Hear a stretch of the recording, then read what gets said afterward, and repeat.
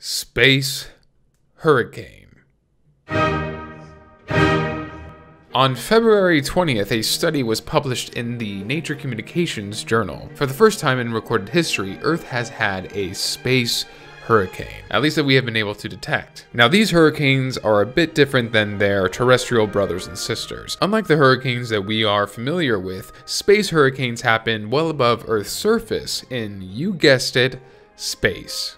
These storms are caused by a combination of solar winds and magnetic field lines. The winds eventually pick up speed and due to the magnetic field around Earth, form a similar shape to terrestrial hurricanes, only instead of pouring rain, space hurricanes pour down electrons. Scientists have had theories of this phenomenon, but because these hurricanes are invisible to the naked eye, they have been near impossible to detect.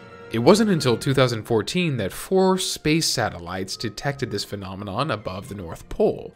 And with further study of the data, scientists have found that space hurricanes are a common occurrence for planets with a magnetic field and plasma in the atmosphere. But wait, I know what you're all thinking. Are space hurricanes something to fear?